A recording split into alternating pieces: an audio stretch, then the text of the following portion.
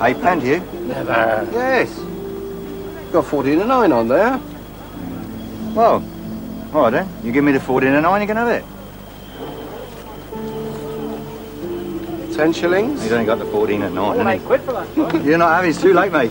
He's said already done 14 it. and ninepence, so, uh, you know, you can't argue, can Right. you? 10 shillings. 12 and 6. you never expected this, did you? 13 and 6. Three three pence pieces is 14 and ninepence. Thank you very much. There you are, sir. Thank you very much. That's very nice, thank you.